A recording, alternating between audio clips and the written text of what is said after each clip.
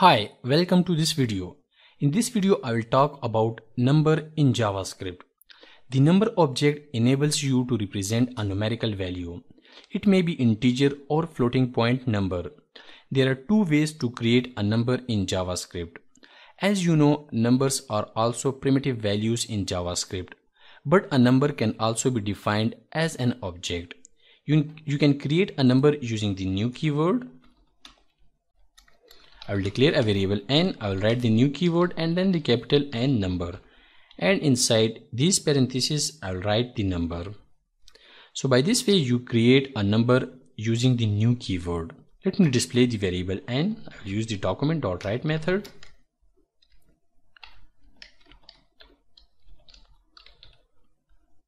I'll save this script. I'll open index.html file So this number is created using the new keyword as an object. If you want the primitive value of this object number, you use the valueOf method. Document.write. I'll show you the primitive value for this object. I'll say primitive value. I'll use the variable and then the value of method. This valueOf method will return the primitive value of this object. I'll save this script. I'll refresh. So this is the primitive value of object n. This is the object and this is the primitive value. As you know, creating an object using the new keyword will complicate your code and will slow down your program. So always create a variable just by assigning the value to the variable. Like this way. I'll declare the variable n again and this time I will simply assign the value to the variable. I'll save this script again. I'll refresh. So by this way you simply assign a value a number to a variable so don't use this new keyword because it will complicate your code and slow down your program. Next, I will show you how you can check for a valid number. I will declare a variable number check. I will assign it a value of 20 plus a string.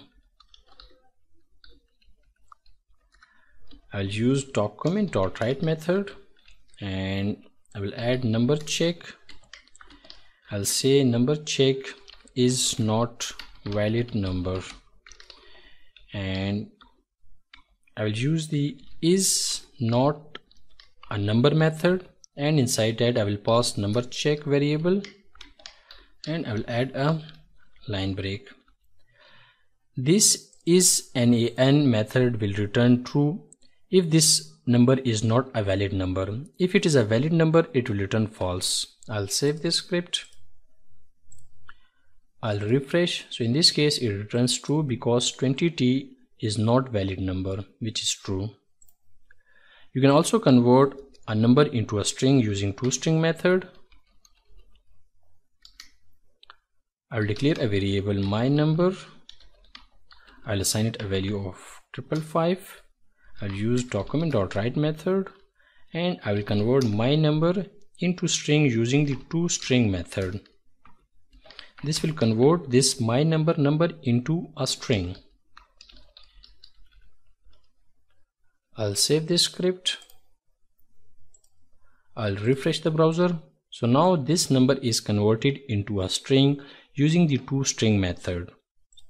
So in this short video I explained how you can create a number using the new keyword and how you can check for a valid number and how you can convert a number into a string